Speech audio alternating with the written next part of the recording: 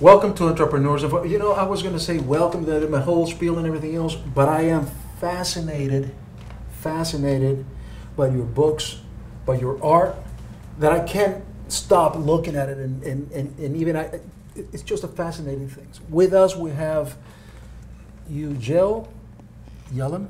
Yes. Did I say it correctly? Perfect. Man, I've been practicing all morning. How you doing, man? Great, thanks. You are.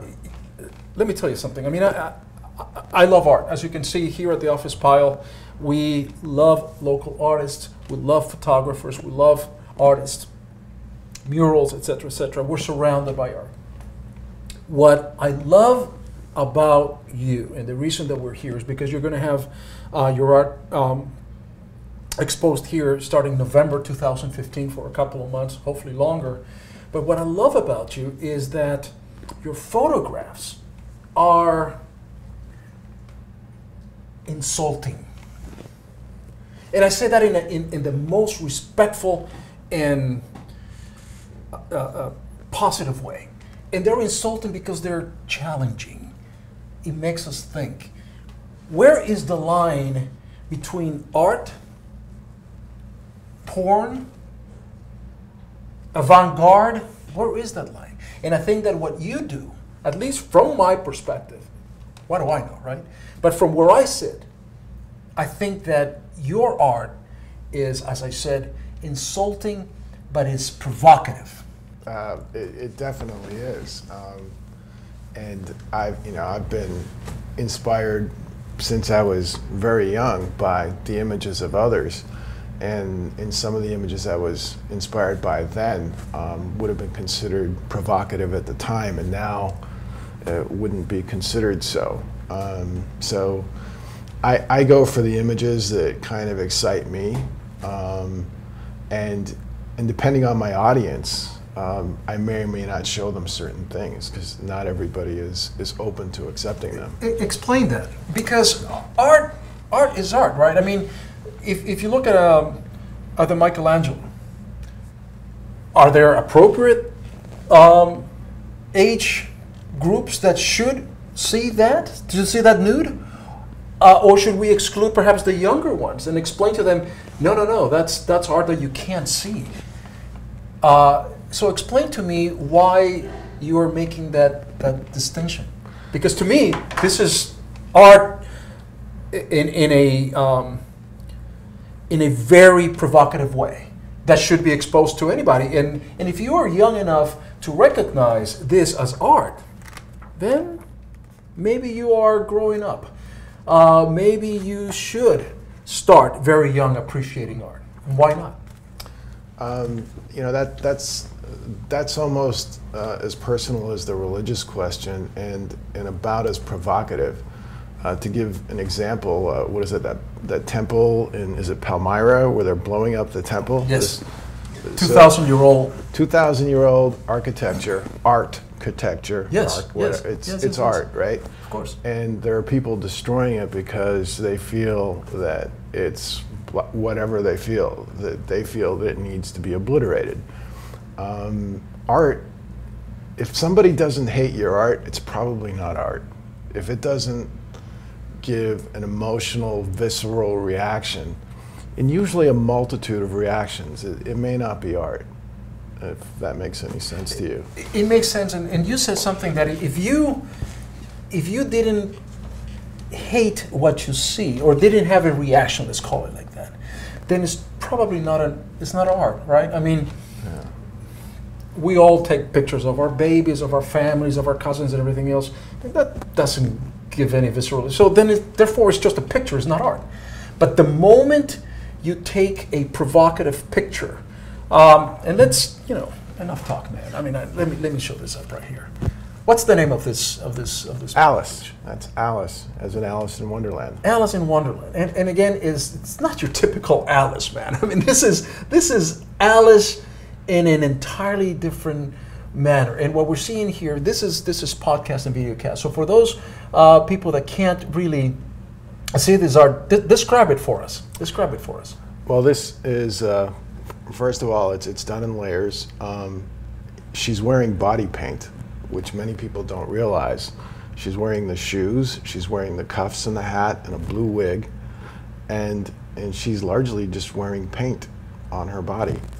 And we shot that in what was my living room with a very talented uh, body paint artist, um, Visualize Creativity. And she also did the makeup, and it's all beautiful. We, sh- we shot it on white, and then another artist, um, No Regrets, out of New York, collaborated to work on putting in the background and, and organizing all that. We've created this this is one of my most popular pieces. People tend to love it and not be offended. And it's a naked girl wearing paint.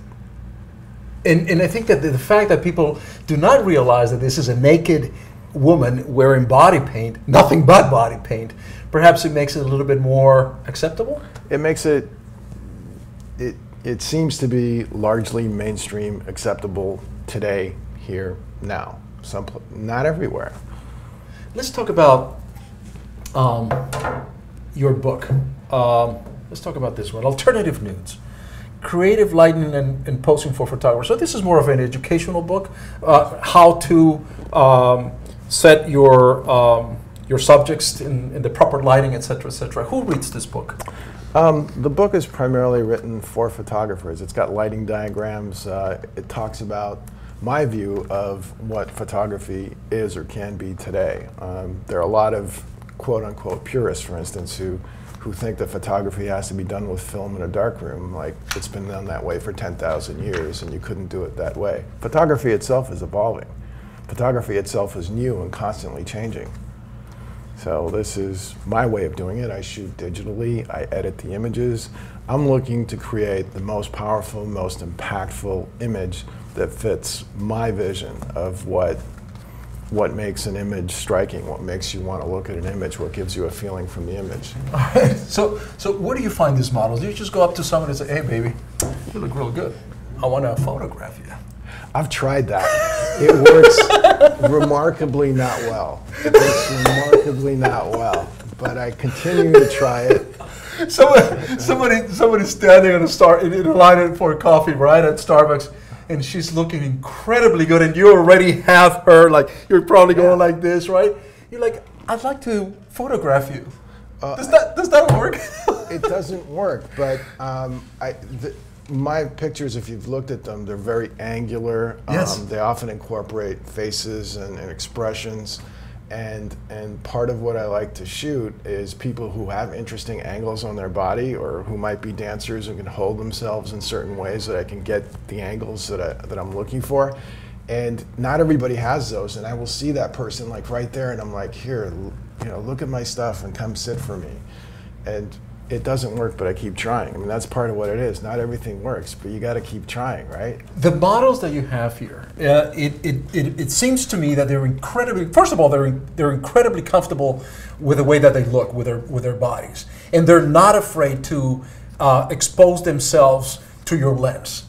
They're very comfortable. That's you know that's that's great that you see that, um, but I, I got to tell you, um, probably at least more than half of the people in there um, are not that experienced as models, Right. um, and and are not that comfortable in front of the lens. The, the comfort is a thing you build up with you know. With, There's got to be a trust, right? There has to be a trust, and and that's developed first. They see your work, and and if they see your work, if someone else they they know has has shot with you, you, you get that going for you. It's really hard to to say that line about hey, I'm going to photograph you if you don't have a body of work. Once you have a Sure. body of work, and you know it's going to be great, you're still sitting on the other side of the camera. You go, I'm not going to look good. I never take a good picture. And then after you start seeing that yes, it can happen, then you start to relax. Was was there was there was there a chance that you you started a session with someone, and that person said, you know what, I, I just don't want to do this. I, I just don't feel like it. Uh, you know, I've had that happen not recently, and and I know why it happened, and it's because when you're on the other side of the camera, Yeah. it's it's a lot of power, and people are relying on you to do things. And whenever you are taking a photograph of someone and they know they're being photographed, like some of my stuff is editorial. You know, I might have a long lens and I might take a picture of someone in a public place. They may not know they're being shot, but when they know they're being photographed, um, somebody has to be in control of that situation.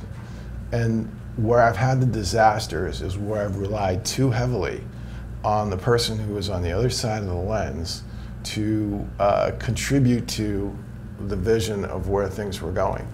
And in that, have lost control of the situation in ways that became uncomfortable for everybody. So if I can, if if I know what I'm doing and if I maintain control, things work out great. So, so the subject becomes self-aware. Self-aware, or um, they they lose confidence in the photographer. Oh, okay. If you're the photographer and you've done it long enough, you know not to let the subject have control, because if they do, um, then well, they don't know what they're seeing, and why are they here for you, right? They're here for you because you're the guy who knows what he's doing, and you have to tell them what to do, and you have to tell them what's acceptable and what's not. And if the shoot comes apart, you have to be the one saying, you know, we're not going to do this. So, as a photographer, you have to be a coach. You have to be, of course, have a great vision of how you want that particular post translated into into the photograph, right, into Right. paper. But at the same time, you have to you have to become their best friend for that moment because they have to trust you just implicitly to whatever you're saying. And, th- and that applies whether you're doing a headshot or you know if the person's nude. Um, the, when they're nude, they're they're far more vulnerable than in almost any situation, um, because not only are they nude, you're going to have pictures of them being nude, and they Pictures that are going to are going to be seen by thousands and thousands and thousands of people. or it could be a private session. It, it, it, it, it doesn't matter. You're taking a picture of someone in a way that we've been taught we're vulnerable, in particular if you're nude. If they're doing, if you're doing a headshot, if you don't make them look okay or great, um, then they're putting that forward to the world. So you, you have a lot of responsibility when you're on the other side of the lens to, to really produce something that will make the person feel good about themselves. And you can if you know what you're doing.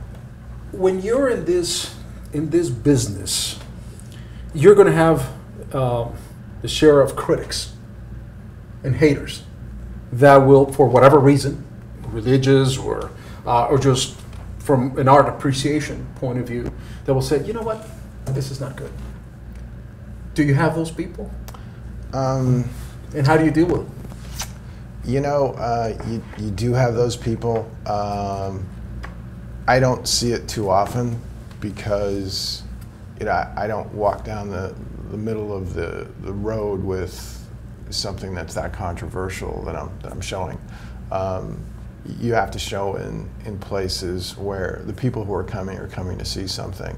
Got it. Um, so, and, and it's you know somewhat being respectful. Like I don't pull out the alternative nudes uh, book when I meet someone. I ask them, uh, you know, are are you do you like nudes? Are you comfortable looking at nudes before I, I show one? Because you have to be respectful of people too. Um, Sure. If they don't want to see that, I mean, I don't like seeing blood and gore. So if someone's showing it to me, I turn away.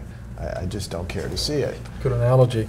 Um, and you probably, for those people who do not like uh, or feel a little bit repulsed by the nudes, then you have this other book, which is the Phoenix Street People, summer 2012. And um, this is wonderful. In fact, uh, let me let me pull this. It's beautiful, beautiful piece right here, right there. Tell us about this. What is this? Um, well, this was this was a really interesting shot. Um, th- this was a project that I came out of a, a pizza shop on 12th Street, and uh, I was going home, and there was a gentleman who was sort of passed out um, right there next to the cooler at the Circle K, and. Uh, he, uh, he was just there, and I, I ran home, got my camera, came back, he was still there and I started photographing him. And he had like horrible teeth. And then I photographed these ladies walking up, and they just kind of looked at him, got in their car, and drove away. And I decided I was going to photograph street people that day. And I was down um, around 19th Avenue on the west side of town somewhere, and I'm driving with my window open because I'm looking for street people, and I'm getting them here and there. And I hear this horrendous sound. And it's this guy, and he's like, you know, like, like making like horrible sounds, Wow. but, but it wasn't just snoring, it was like scary sounds. And there's this guy, and he's laying there on his back. Every so often, he's making a sound. So I park my car, and I get my camera, and I slowly, slowly approach him. And when I'm about 10 feet away, he opens his eyes and he looks at me. And at that moment, I wasn't quite sure which way this was going to go, but I was far enough away. And and he was a great guy. And uh, he had this T-shirt on that says "Got Teeth." He had a T-shirt on that says "Got Teeth," which you're laughing, but the guy before his teeth were a mess. That's amazing. And he had this on, and I started talking to him about his life, and he was awesome to talk to. And that's the Bible that was on his chest, and that's his hand. I don't know if you can see. You can Yes, see of the- course. His fingernails, and the Bible is open to like this. Well, it's this page is coming out. There's Yes. a, if you read down, it's really you know cool. Like I get chills still talking about it. And and you know he was he was just a guy who was in the shade of a transformer in the morning when it was really hot. And- Amazing. and This is this is really a very very very powerful image right here, um, and um I am. I tell you what, man. I uh, Yucel, I am very proud that you brought these pieces. That you're here in Phoenix, really breaking just the, the just the regular um, idea of what we traditionally conceive art as, and for me, it opens up uh, you know a whole new new uh, new venue of uh, art appreciation, and I would love for other people here in Phoenix, and, and we will have the amazing opportunity for you to come in and expose an article at Galleria here at the at the office pile in November and December, your pictures, and the people that are going to come. I hope that they have a very open mind about what they're going to see, what they're going to experience, because watching this, reading about you, is an experience, man. It's beautiful. It's amazing.